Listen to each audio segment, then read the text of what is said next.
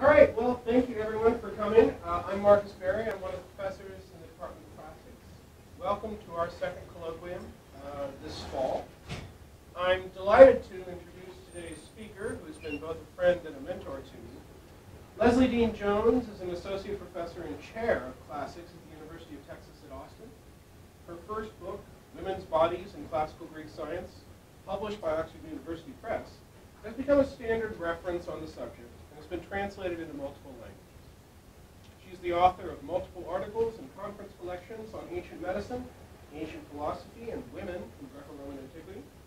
She has been the president of the Society for Ancient Medicine, winner of the annual prize for best article from the Women's Classical Caucus, and was awarded a grant from the National Science Foundation to host the triennial Colloquium Hippocraticum in its first symposium in the United States. Her next book comes out from Cambridge University Press next year, entitled Historia Animalium 10, Aristotle's Endoxon, Topos, and Dialectic, on Huper tu me Geneon. This evening she will speak to us on the question, does Aristotle's Phusis justify his oikos? Please join me in welcoming our speaker.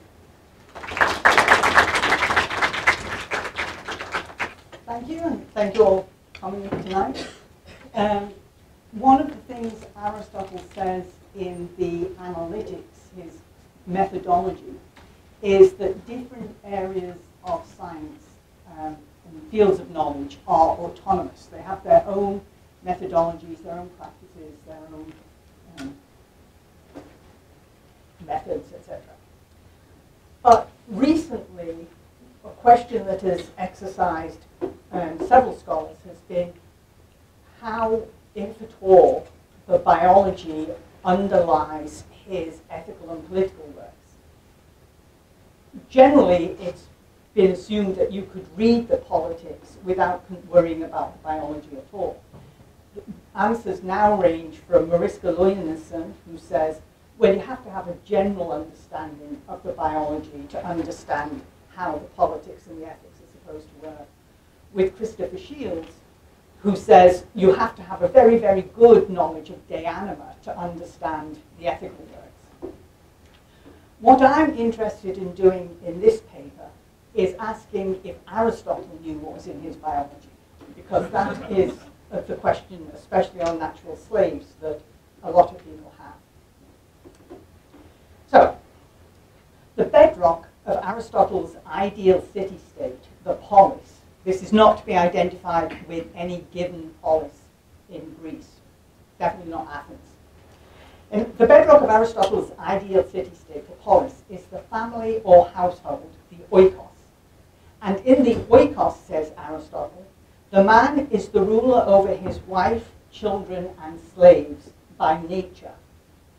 He states, and this is number one on the handout, by nature, phuse, the relationship between male and female is that between the better and the worse, between the ruler and the ruled. And the same relationship must also apply to all of humanity. Those humans who differ from others to the degree that the soul differs from the body and a human being from a beast, these are by nature slaves. Aristotle says this natural ascendancy emanates from the quality of the deliberative faculty, the, the in each group. The bouleutikon is the faculty that enables one to decide correctly on the ultimate ends, not just how to get to these ends. So, for instance, Xerxes could organize a very complicated campaign, put it in, or, um, into effect against Greece, but he couldn't decide, he didn't have the bouleutikon to decide whether or not he should do this, whether this was a good cause of action leading to the best ultimate ends. In the politics, the difference in this faculty between the groups of the man, his wife, his children, and his slaves is simply asserted rather than argued for. This is number two on the handout. The free rules the slave, the male the female, and the man the child in a different way.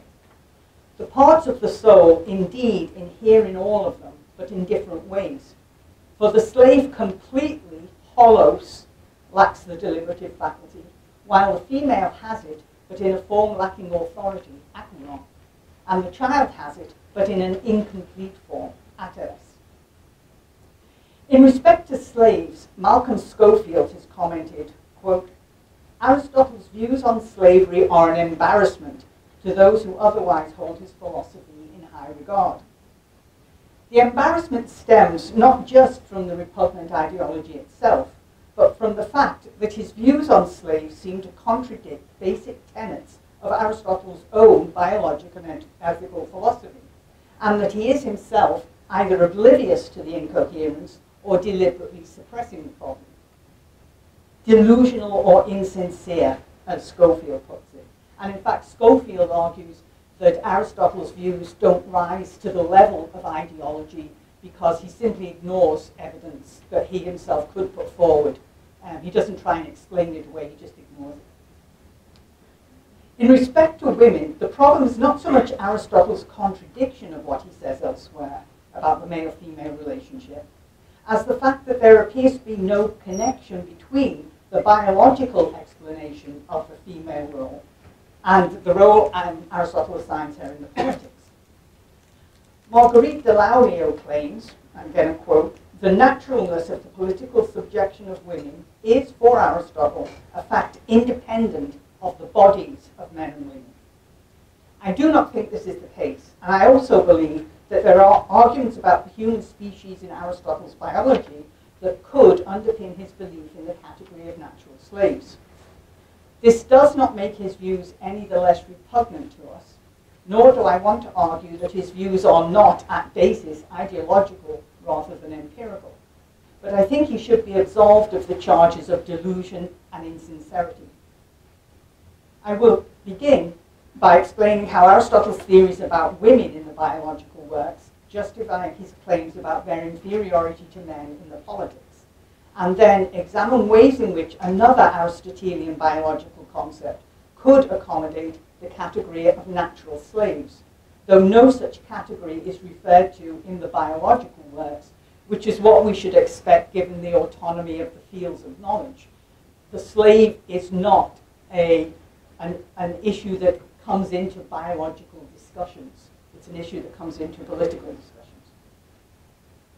So first, the biological cause of a woman's deliberative faculty being acouron. I would agree with Deslauriers that differences in intellect between the sexes do not depend upon, in the sense that they are not caused by, differences in anatomy or physiology. However, I would argue that the difference between men's and women's intellect stems from a woman's lesser heat, and to this extent is to be explained biologically. Deslauriers acknowledges this argument, and she frames it as follows. Because the body of a woman is colder, and as a result her blood is colder, and because blood and the heart are involved in the functions of perception, and because intellectual fun functions in people depend upon the functions of perception, so biological sexual differences do or might make a difference to rational functions and hence to political status. Her main objections to this argument are two. One, if this were the case, Aristotle would have to associate all deficiencies in intellect with the female sex, which he clearly does not because he identifies natural slaves, male as well as female, as even more intellectually deficient than free women. And two, describing the woman's deliberative faculty as lacking authority, acouron, does not mean that the faculty is defective, and it should not therefore be accounted for by a material part that is defective in the sense of incomplete, as she implies is the case with the female body. I will explain later in the paper how male slaves could end up intellectually inferior to free women. I will first explain why we do not need to look to any part of a woman's body, even her blood, to explain how her intellectual status could be seen as naturally inferior to male's by Aristotle. According to Aristotle's biological theory, animals reproduce because this is the only way that they can participate in eternity. Lower animals have a variety of ways to affect this, but all the higher animals reproduce sexually because, according to Aristotle, nature does not like a Delphic knife or a spit and lampstand combination. And what he means by a spit and lampstand combination is imagine a spit that you would roast a whole lamb over a fire with. And as you turned it, there would be a guard to keep your hand from the heat. Once the animal is roasted, you take the lamb off the spit. By then it's getting dark. You turn it upside down and stick the spit in the ground. And what was the hand shield becomes the torch where you place the, the lighting fluid, wood or whatever to give you your lampstand. If she can separate parts to perform different functions, nature will. So the higher animals are separated into that which generates in another, the male, and that which generates in itself, the female. In this status quo, Aristotle admits that if a species were to be formed of one sex, that sex would have to be the female, because the male needs another sex to generate it. However, the species form proper is that of the male, and if there was no need for reproduction, it is the male that would exist. The female, says Aristotle, is deformed or stunted, pepiromenon, a case in which nature, has deviated, parakbebeke, from form proper, but necessarily so. Sexual reproduction is achieved by the transference of the species form, or eidos, that is, the information about what sort of animal is to be created from the father into the material contained in the mother. All animals are warm enough to concoct, which is a form of digestion, what they eat to build and maintain their own bodies. They can produce their own blood, their own hair, their own flesh. Males are so hot that they can make a completely new individual out of appropriate matter. So they can put the information into the menstrual fluid in a woman's body in a way that a woman herself can't. She's not hot enough to make a new individual. In many animals, including humans, the information for the new individual is transferred via the father's semen into the menstrual material in the mother's womb. This establishes an arche, a principle, containing the species information which will from that point on guide the development of the offspring. The individual will be male or female according to whether the arche is male or female. And this depends on the proportion of heat in the semen relative to the amount of menstrual material in the mother. If the father's heat is powerful enough to pass into the material unabated, the it establishes there will be as hot as the father's own arche, and it will direct the body to develop as a male. But the heat can be blunted by the amount of material present in the mother, and the colder arche results in the development of a female. The first body part the arche forms is the heart, and it is from there that the arche directs the development of the rest of the body. There is no anatomical difference in the hearts of male and female because there does not need to be. They perform the same function. But the hotter male arche will direct the development of the body that it needs to generate in another, with, for example, the appropriate passages for the concoction of semen. While the cooler female arche will direct the development of a body capable of generating in itself, with, for example, a womb.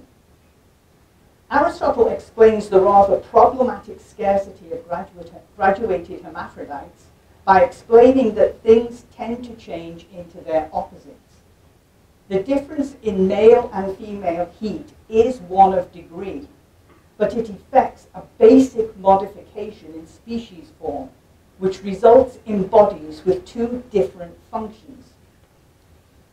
Castration causes an approximation of the male to the female body, but the male never becomes an animal that can generate in itself. The difference, the, the difference in heat causes is not simply one of degree, it is one of complementary opposition. By the same argument, I do not think we have to go through all the steps of a colder body affecting blood, affecting perception, affecting intellect, to argue for the biological basis for a woman's inferior intellectual abilities. The human capacity for deliberation derives from the heat of the human species form, or eidos. This is number three on the handout. For this reason, the bregma, the bone at the top of the skull, is the last bone to reach completion. For even after embryos have been brought into the world, this bone is soft in children. And the reason that this happens, especially in the case of humans, is that among animals, they have the most fluid and sizable brain. And the reason for this is that they have the purest heat in their heart. Their intellect shows how well it is blended, for a human is the most intelligent of animals. Aristotle, Aristotle places the pinnacle of the intellect in men at around 50, which is the same age he advises men to cease engendering children to avoid offspring de defective in mind and body. A boy's reproductive life cannot begin until puberty, around the age of 14, because as regards heat, his body is like a woman's. Even then, his semen is usually infertile till the age of 21. This is the age at which women stabilize in a favorable condition for childbearing. But, Aristotle says, men continue to improve. This indicates a correspondence between the most favorable times for a man's intellectual and reproductive activities, between 21 and 50. It is not that his ability to produce fertile semen is causing his intellectual abilities, or vice versa. They both develop with an increase in heat after puberty. Due to a lack of heat, both faculties are incomplete ateles in a child, although a male child will eventually develop to have the full intellect needed to be a master of his own oikos. Like a boy, a woman lacks heat, but unlike a boy, at 21, her development is complete, not incomplete, as Deslauriers states, but stunted. And so her lesser heat should lead us to expect a defect in intellect, such as that signified by the term akouron. It is not clear to me why Deslauriers thinks lacking authority, akouron, does not signify a defective state. Independent evidence that it does so is illustrated by Aristotle's dis discussion of animals with two sets of generative organs. This is number four on the handout. A number of animals turn out in such a way as to have two sets of genitalia. It is always the case that of these redundant parts, one is serviceable, kurion, and the other unserviceable, akouron, through being constantly impaired with regards to nutriment, inasmuch as it exists contrary to nature, although it grows alongside it, just like growths. And these redundant parts derive nourishment, although they develop later and contrary to nature. If the fashioning agent is either completely master or completely mastered, two similar sets of genitalia come into being. If it masters in one way but is mastered in another, one set is female and one is male. This shows that the term akouron does signify a defect. And this is not just a difference of sex. One set of male genitalia can be defective compared to another. They could even be defective compared to a set of female genitalia. In this passage, Akouron describes a part that is present but does not wear, at least not as well as the kurion part. And this seems to me the meaning of the term in the politics passage. The woman's arche directs the development of an individual, which, although similar in many ways as regards intellect, just as she is similar in many ways as regards anatomy to a man, is in principle the opposite of the man, just as she is his opposite in reproduction. From the instantiation of her arche, she is destined to be, in intellect, someone suited to obeying rather than ruling, a complementary opposition as there was in the biological roles of male and female. As such, a woman's intellect cannot be described as incomplete in the way that a child's can. In both body and intellect, she is perfect insofar as she reaches the female telos, the purpose for the existence of a female, but stunted with regard to the full species form.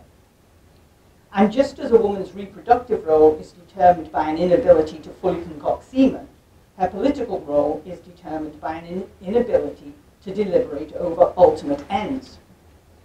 Her role in the oikos requires her to make decisions and choices to ensure the overall smooth running of the household. So she has the ultimate ends of the household in her view, and she can make decisions about how to reach that. So she has a deliberative faculty in some capacity. But the oikos is for the sake of, and therefore subordinate to, the ends of the polis. And so ultimately, her decisions and choices are subject to the authority of her husband, who looks to the ultimate ends of the polis, which in turn decide the ultimate ends of the oikos. She does not have the intellectual capacity to challenge his decisions because she cannot deliberate over these ends herself. The rule of the husband over the wife, therefore, is a rule like that in the polis, one in which citizens have an equal stake in the flourishing of the polis and are free, indeed expected, to make decisions regarding their own activities as long as those decisions conform to the directives of the current rulers. Free men related under such rules should take turns in ruling and being ruled, for they tend to be on an equal footing and not to differ in any way in, in respect of their nature. This is, of course, not the case between a man and a woman. So the man is always in the position of the ruler. If each individual were himself immortal, there would be no need for progeny, and therefore little, if any, need for wife or oikos. Because there is a need for progeny, and in the case of humans, therefore, a need also for an oikos, nature, has seen to it through biological means that the modified form of the human eidos, the woman, is suited to producing the one children and looking after the other, the oikos. Aristotle does not explain the mechanism in the politics, but as we have seen, his theoretical habit is to bring to bear only the theoretical apparatus required by his topic. So basically, the degree of heat in the arche, which causes the change to an opposite but complementary body, one that generates in itself rather than another, and an opposite but complementary psyche, psyche, one that obeys rather than rules, is in conformity with nature, which aims at the human male fulfilling his potential, his potential to deliberate over ultimate ends. In a sense, the man and the woman, the man and his wife, make up a single individual that is divided, wants to, to look at the ultimate ends of the polis, the other the ultimate ends of the oikos. So now I want to look at the ethical and political justification for natural slaves. Slavery was a fact of life in the ancient world and the fate of many conquered peoples who were previously free. There is little evidence of widespread discomfort with the institution anywhere in classical Greece, which is not to say that there wasn't any, but in fact, most of our evidence for debate over the subject, subject comes from the politics itself. Aristotle records that there were some who objected to the whole concept of slavery as unjust. However, these early abolitionists have not left any independent mark in classical literature, where slaves are ubiquitous and taken for granted. But while different groups of Greeks were frequently bitter enemies of one another, they preferred not to enslave fellow Greeks for themselves. They would sell them into slavery to other people, but they preferred not to have Greeks as slaves to Greeks. Plato remarks in passing that there will be slaves in his ideal state, but they will all be foreigners. Greeks were more comfortable with foreign slaves because they believed it was self-evident that they were inferior. A saying attributed to the earliest Greek philosopher, Thales, states, I am grateful to the gods for three things, that I was born human, a Greek, and a male. And Euripides has a Iphigenia say, it is natural for Greeks to rule foreigners and not for foreigners to rule Greeks. They are a slave race. Greeks are free. Um, this Iphigenia analysis of problematic character, but whether or not we're meant to agree with it, she's making a statement that Greeks would, have, would agree with. Aristotle agreed with this judgment, saying, in nature, a foreigner and a slave are the same thing. It has been argued by some that in the politics, Aristotle intends to deny the possibility of natural slaves by describing them as differing as much from free men as the soul does from the body, or a human, an anthropos, does from a beast. This is indeed a problematic statement, given that elsewhere Aristotle refers to slaves as anthropoi, humans, and also in his biology he says several times there is only one eidos, Anthropos. But it is also the case that throughout the politics, he treats the category of natural slave as if it does exist. And a striking handout, striking example is number five on the handout.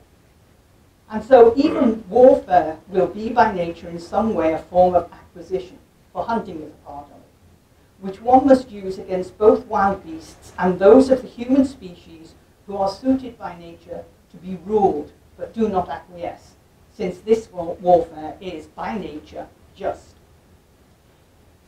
References such as this can be found throughout Book One of the Politics, and it strikes me as very special pleading to assert that Aristotle means to argue that the category does not exist. Aristotle, then, is a man of his time as regards accepting foreigners as inferior. But this does not absolve him of the charge of delusion or insincerity. The reason it seems unethical for Aristotle to support slavery is in part that his philosophy argues that the purpose of an individual is to actualize their full potential. And slavery appears to be an institution whereby one man prevents another from achieving this. In Aristotelian philosophy, nature, uh, say nature with a capital N or capital phi, equipped living things only with those body parts that they could make use of. Apart from humans, no other animal has logos or reason, so they do not need the body parts through which logos is manifest, namely hands and the organs of speech. Aristotle famously says that humans are not the most intelligent animals because they have hands. They have hands because they are the most intelligent animals. Nature has structured the human body so as to make it possible for humans to actualize, to bring to fulfillment the faculty for reason in their logos. And slaves have hands and tongues, so they must have this faculty for reason. So nature must intend for it to be actualized. So one would think they shouldn't be slaves. Other animals are structured so as to actualize the potential in their eidos. For example, all animals eat, but their digestive organs are fitted to the type of food their eidos requires. Nature does not provide camels with front teeth, for instance, because they do not need them to digest their thorny, woody food. She does, however, make provision that they have a series of stomachs for this purpose. If camels were provided with front teeth, they would no more be able to use them than would a horse be able to speak if it had a human larynx. Nature does not give an animal an unnecessary part, and each animal lives the best life possible when actualizing all the potential of the parts in its eidos. In one sense, a horse's purpose, its telos, is to be a horse, to fulfill its nature with a small n or a small phi, the nature of a horse. There is, though, for non-human animals, a superior telos, which lies outside of themselves, to fulfill nature with a capital N or a capital phusis. That is, that human males fulfill, fulfill their phusis, because according to Aristotle, they are the animal that is most kataphusin, that is the most in accordance with nature and has the highest telos. So nature has structured the universe, or at least the world, to bring this fulfillment about. And we see this in hand, the number six on the handout. Plants exist for the sake of animals, and the other animals for the sake of humans. They're domesticated both for the service and food, and of the wild animals, if not all, at least most of them, for food and other needs, so that humans might get clothing and tools from them. Animals that can be tamed and put to use by humans have a better life if they are domesticated than if they are not, because they then partake in a higher telos, the human telos. By contrast, there is no telos for a male human beyond fulfilling his own eidos, beyond being as fully as possible a human. There are beings higher than humans in the supralunary world, the celestial spheres, but they do not require humans for food, service, or even worship.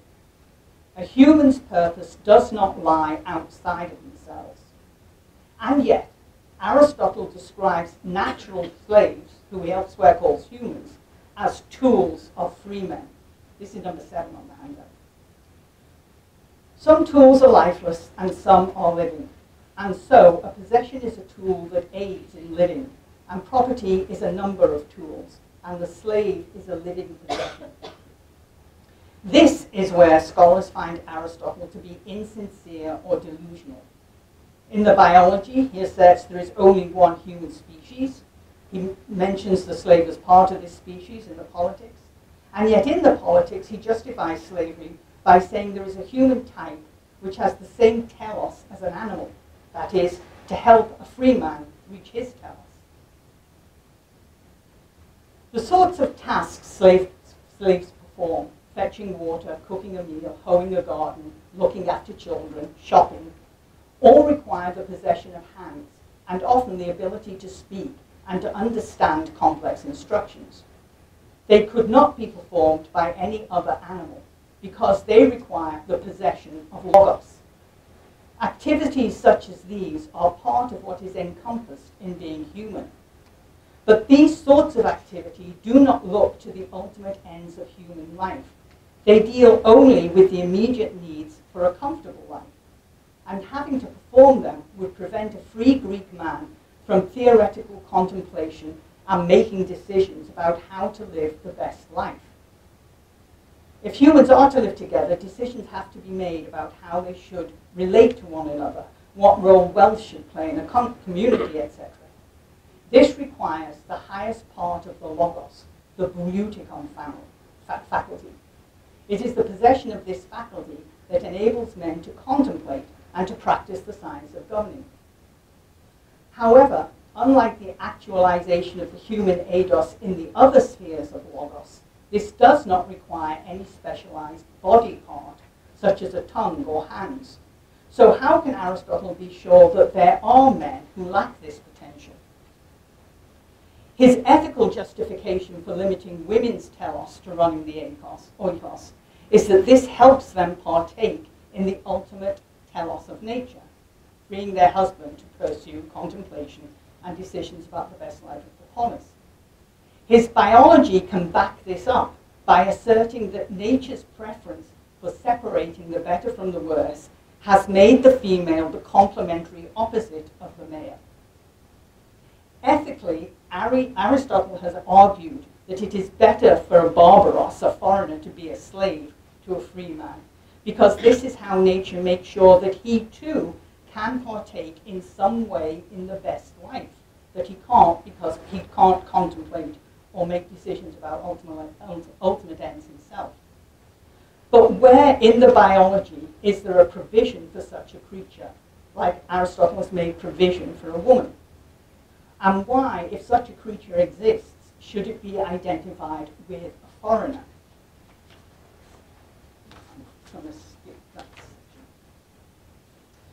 So people have, have had various ways of answering this. Um, David Depew and others argue that it's simply a question of more and more or less, which Aristotle recognizes exists in all species. Um, there are, there's a difference in height between humans. There isn't a standard height. So you can have humans that are taller and humans that are smaller difference in colouring, etc. And so um, the argument goes, it's simply a question of more or less logos, more or less reason. And those that have the least reason, the delimiting group, are the ones that are natural slaves. But this doesn't answer the question, one, why is it that Aristotle identifies this with foreigners? And with, with reason, um, we still have that problem of how is it that some men, foreign men, can be less intelligent than women if women are supposed to be generally less intelligent than men. So the more and the less doesn't quite answer the question. It also doesn't answer the question of the holos, the completely lacking the bouleutikon faculty. It's not that they've got, Aristotle doesn't say they've got less logos. He says they're lacking a part of the logos. So I don't think the more or the less um, answers the question. Another way to answer the question has been to say that it is the climate. And it's true that Aristotle makes some references to how the um, warmth and the ease of the climate in, nat- nat- in Asia causes Asians to be um, lazy and how the cold of the northern re- regions causes the Scythians to be less intelligent, less um, because of their prima nature. But if this is the case, then the ethical problem is what do you do if you enslave a child from one of these regions? Because if it's climate that causes the natural slave nature, ethically, if you start to raise somebody in the Greek climate, they're, like any other child, presumably, ateles in the bouleutikon faculty and can come to be full functioning male members of a species, making decisions about ultimate ends. Um, Pierre Pellegrin tries to get around this problem by looking at lineage slavery and how slaves that are become member of the family and their children are members of the same family over time grow to be accepted as part of the ethnic group. But again, that would suggest that they are not natural slaves. They're only slaves insofar as they're not living in Greece. So we have the ethical problem again of how you could bring somebody to Greece and make them a tool of a free man if they have the potential to be um, a free man themselves. So what I'm looking for is some space in the biology that would allow Aristotle to say, yes, this category can exist. It's not that we have to agree with him, but we I, I want to see that he isn't just forgetting his biology or trying to stop other people remembering it to defend his view on natural slavery. Unlike the logos faculty itself, which is marked by the possession of hands and the organs of speech, even when it is present only potentially, as with children, the bouleutikon faculty is not marked by the presence of any specific bodily organ. It is the maturing of the entire body which is its actualization. The adult male, apart from having fully de developed testicles and producing semen, differs from his wife and children in having a muscular, firmer body, a deeper voice, and more facial and bodily hair. All consequences of the development of a greater amount of heat, and all, to Aristotle's mind, inherently superior. The upper and lower parts of a man's body also grow more into proportion because of his extra heat. Like children, women are more dwarf-like, says Aristotle, though they too produce a seminal residue, menses, and develop a deeper voice after puberty and an increase in heat. Since a man's right to authority over animals, children, and wife ultimately rests on his greater heat made manifest in his body, it would seem likely that Aristotle would tie the foreigner's complete lack of the bouleutikon faculty and his place in this continuum between children and beasts to a deficiency of heat also, although he nowhere explicitly says this in the politics or the biological works, because it's not suited to one because it's to do with blood and guts, and it's not suited to the other because it's to, to do with social institutions. And just as animals lack hands, children lack pubic hair, and women lack testicles, we might expect to see marks of the lack of heat on the bodies of natural slaves. In Athens, there would be some male slaves who lacked typically male characteristics, those who had been castrated before puberty, and who would thus have high voices soft, hairless bodies, and the inability to concoct semen. But these would be in the minority. And anyway, Aristotle's argument applies to all those foreigners who were not enslaved, and who were reproducing in their own societies just as Greeks did. Since these natural slaves are able to reproduce sexually, nature must have provided them with enough innate heat to concoct seminal residues. The physical modifications needed to allow the production of semen would naturally produce a deeper voice and an increase in hair as a consequence. So male natural slaves look like men. Yet Aristotle maintains that nature wishes to mark a difference between the bodies of free and those of slaves. This is number nine on the handout. And so nature wants to make the bodies of free and slave different from one another. The latter strong with a view to the work they have to do, the former upright and of no use with a view to such labour, but useful for a life lived in a polis. But often the very reverse comes about. Slaves have the bodies of free men, and free men only the souls. Although this is abundantly clear, that if freemen were born as superior in body as are the images of the gods, everybody would agree that those who failed to reach this level of excellence would rightly act as slaves to them. And if this is true of the body, it is far more just to make this distinction in the case of the soul. But it is not as easy to see the beauty of the soul as it is of the body. Well then, there are by nature some who are free and some who are slaves is manifest. And for these, slavery is beneficial and just. With respect to bodies, Aristotle acknowledges the difficulty of differentiating between slave and free, citing only two relevant variables stronger bodies for slaves, more upright bodies for free. Even then, he admits, some slaves could look like free men, presumably with upright and perhaps weaker bodies, while some free men do not, presumably more stooped, perhaps very strong.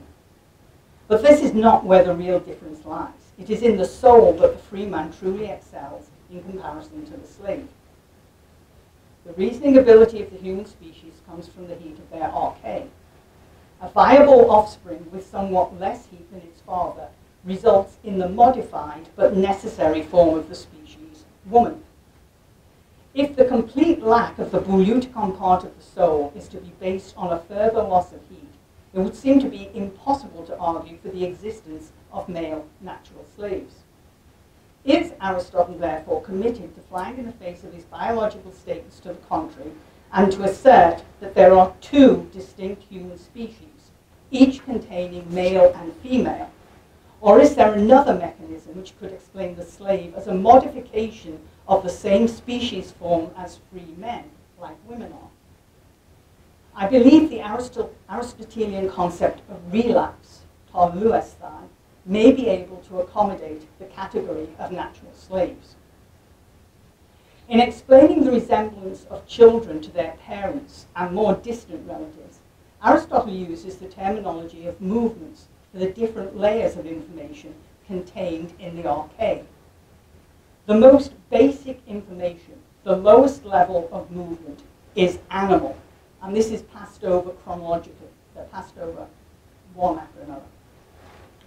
Once this information has been transmitted, the more specialized movements of human, including synchronously the sexual movements, because to be human is to be either male or female are passed into the matter. And finally, individual movements are passed, which decide things such as nose shape and hair color. The strongest individual movements are those of the mother and father, and so children most often resemble their parents before other relatives. But parental movements bring with them movements of more distant forebears.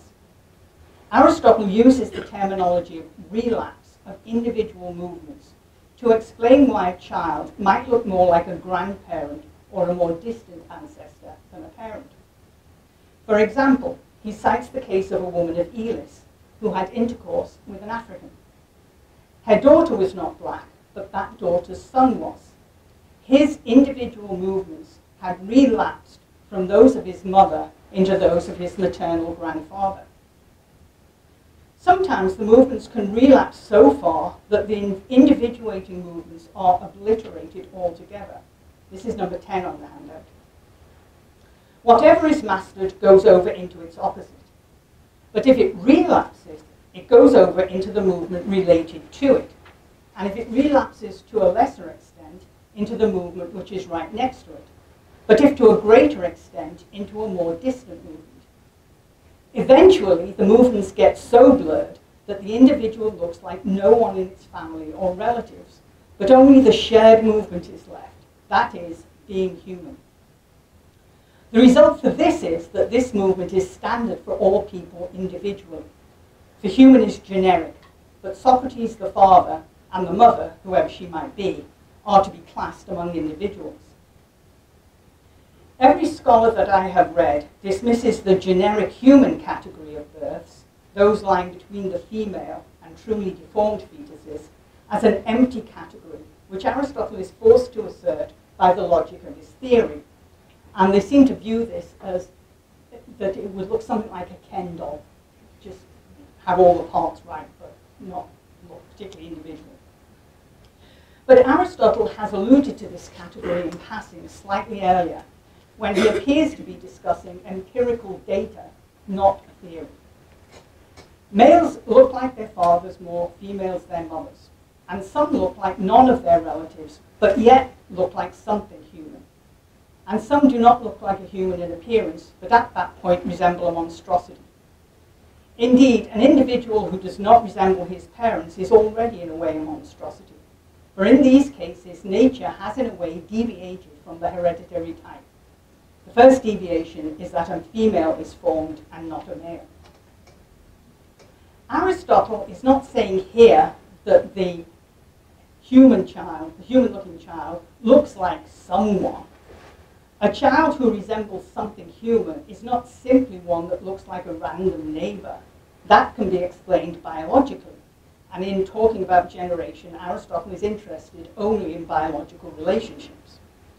It would also seem unlikely that Athenians in the 4th century had such perfect recall or documentation of ancestral appearances that a child who did, not particularly look like any of its living relatives would not be assumed to take after, for example, a great-grandmother.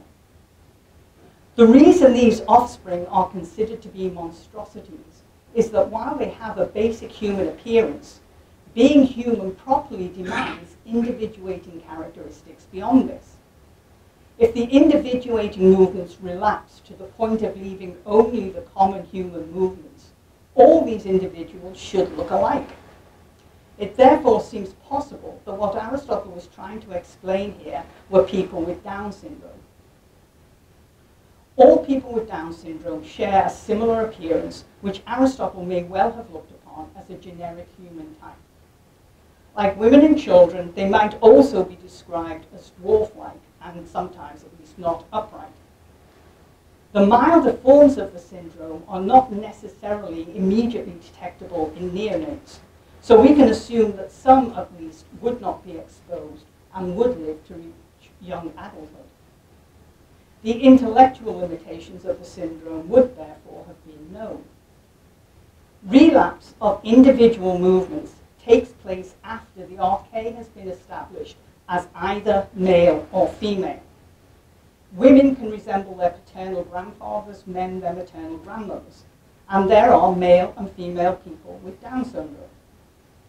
Aristotle is a little ambiguous over the role he may play in the cases of relapse. This is number 12 on the handout. The reason that the movements relapse is because the forming agent is itself affected by the thing it is forming, just as a thing which cuts is blunted by the thing being cut, and the warming agent is cooled by the thing it is warming. And generally, anything causing movement, with the exception of the prime mover, is itself moved in some reciprocal way. Heat here is cited only as a type of motivating force that is affected by performing its action. But the father semen does act as a source of movement by virtue of its heat. In the case of male generic humans, the arche passed into the new individual is originally hot enough to produce a male, but subsequent relapses into the individual movements of more and more distant ancestors blunt the heat of the arche, eventually eradicating all individuating characteristics and leaving the resultant offspring, even when a male, with a considerably cooler arche than normal, evidenced both by his generic appearance, which Aristotle alludes to, and, if we accept people with Down syndrome as representative of this category, his intellectual disability, which Aristotle does not allude to in the generation because it is not relevant in a biological context. Now, I do not mean to argue that all natural slaves were people with Down syndrome. What I am arguing is the, the existence of a modification, not a subspecies of the human form, encompassing both male and female, would seem to Aristotle, which would seem to Aristotle to be completely lacking the bouleutikon faculty, and probably in other parts of Logos as well, would, to his mind, be empirical biological support for his explanation of why non-Greeks lacked the bouleutikon. He could see it as a mark in the body, assuming that he had, as almost every human has, some form of cross-race bias, which sees people of a different group as looking more like each other than people of your own group. If an extreme loss of individuating characteristics goes hand in hand with a severe diminution of logos, a lesser loss of individuation, represented to Aristotle's eyes by a clustering around an ethnic type, would imply a loss of the higher parts of logos. And I just recently came across a passage that said a sign that humans are the most intelligent of animals, this is in Aristotle, is because they are the most polymorphous. And I've just realized that that could be a complementary argument to this if he thinks, because humans are not as polymorphous as, say, dogs. I mean, we all have basically the same shape, roughly the same height. Um, so I'm just wondering there if there's a complementary argument where he sees what, what he considers the most intelligent of humans, Greeks. He, if he sees greater indi individuation between them, he calls that polymorphous. I don't know, I've only just come across that passage, so I don't know where it fits in just yet. Just like women, natural slaves are a, natural, a necessary monstrosity. But if the ideal polis is to exist, and so, like female, if, if just like women, natural slaves are a necessary monstrosity if the ideal polis is to exist. And so, like the female form, the slave modification of the species form has always existed in nature.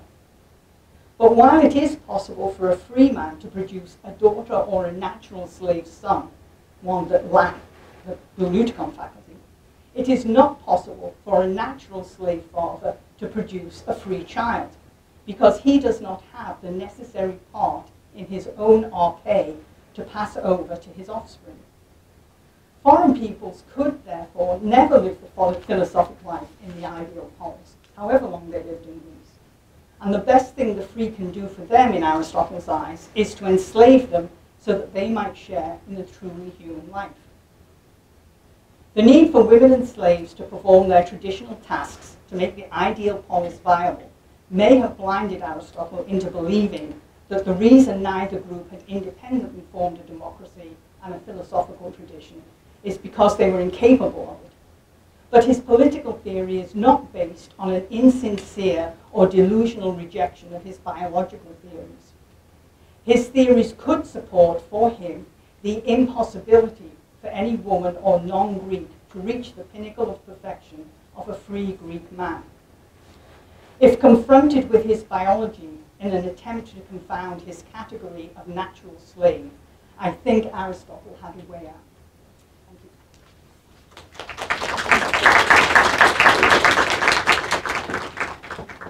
Will you take questions? Certainly. So, like, what about? I'm sure that slave women were raped, but what about like a free man's offspring with a slave woman? Well, um, they were generally treated as slaves.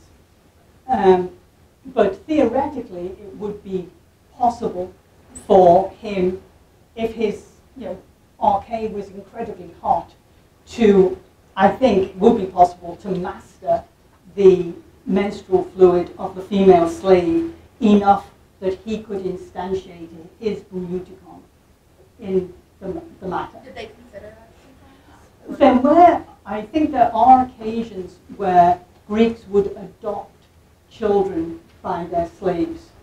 Um, and so I think that Aristotle would explain it just as, I mean, he doesn't go into it, I'm, I'm saying that's how I think he would explain it. It's not possible, though, for a, I don't think, for a Greek uh, slave to produce a free man with a Greek woman. And in fact, um, Aristotle does say at one point that it goes against nature for a Greek woman to marry a foreign man because um, then neither of them are living the best life. Whereas she has the ability as a woman to partake in the best life. If she marries a foreign man, she can't. To my knowledge, I don't recall that Aristotle really talks much about what you want as an ideal slave, but I am kind of curious. So, sorry, I can't hear quite what you're saying. I'm just wondering if Aristotle touches on, on this part at all. So the idea people are naturally slaves because they lack this um, lexicon practicing process. Mhm. Um, but I know that other authors, such as Cornelius, talk about like what makes a good slave, and so people who are less equipped to have these reasoning skills are thus better to be slaves because you're not in charge of anything. Do you really want these kinds of people to be in charge of your life? That you can set them off to do all the chores and things that you don't want to do, but if they're not so logical, maybe they won't be a good slave after all. Well, Aristotle, in fact, says that um, to live the best life, you want the best animals and the best slaves that you can get because they will run things and work for you the best way. And he simply doesn't believe that a natural slave has the ability to deliberate about ultimate ends. But if, if it's the best slave, he's got the rest of Logos. As I said at the beginning, you know, Xerxes clearly has a lot of Logos. And in some ways, Aristotle must have recognized that, you know, an Athenian shoemaker couldn't have planned the invasion of Greece like Xerxes did. But to Aristotle's mind, an Athenian shoemaker has the ability, even if they are enslaved themselves by a, a foreigner, they have the ability to deliberate over what would be the ultimate end for me in, in this life, what's the best way I can live. He seems to believe that foreigners just do not have that ability. And so if you enslave them, if, if you tell them what the ultimate end is, they can work out how to get there. If somebody had worked out that, yes, Xerxes, the best thing to do is for you to be master of Greece, he could work out how to do it. But he couldn't work out of a reason if that would be the best thing to do.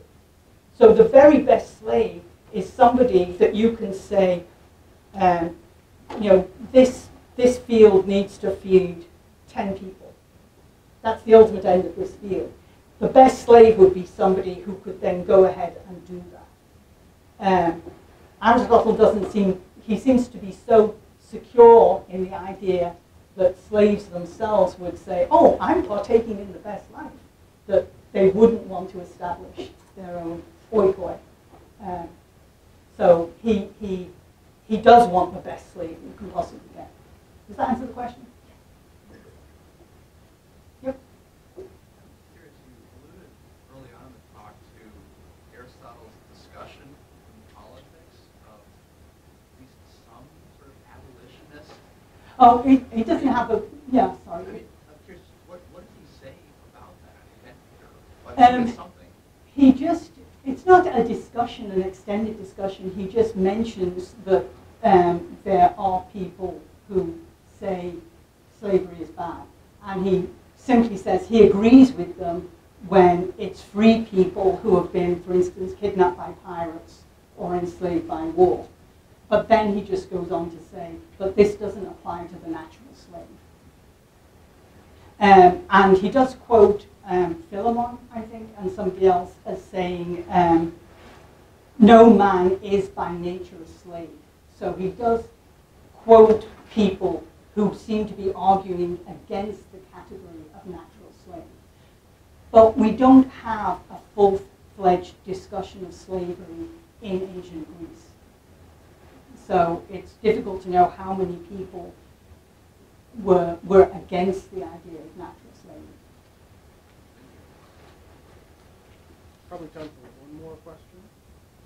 So, um, so Aristotle says that um, like slaves and foreigners still have like the same um, eidos, like the same form for like the um, and realization of the matter, like a hylomorphic uh, compound. But is it possible that he like would have thought that you could have had like a like a subsection of like the realization of the matter, like a different form that would make um, like slaves a, like a little bit different.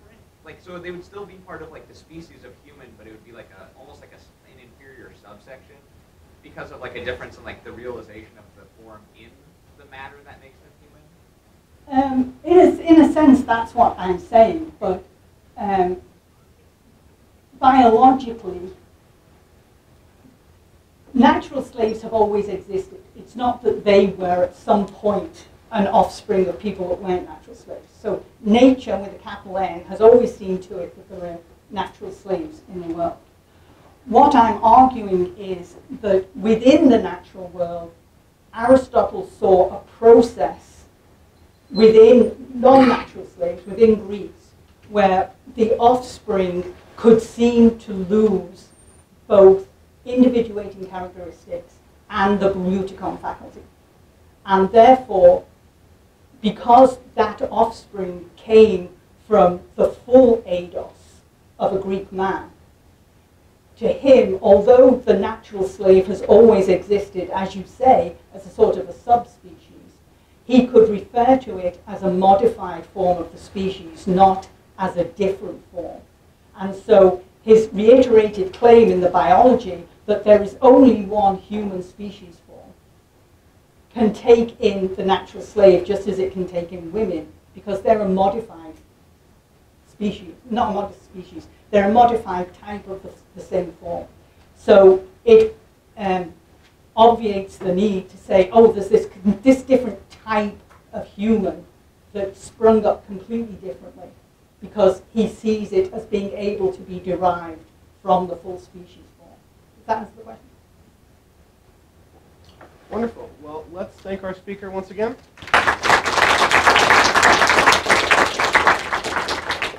And thank you all for coming. Thank you.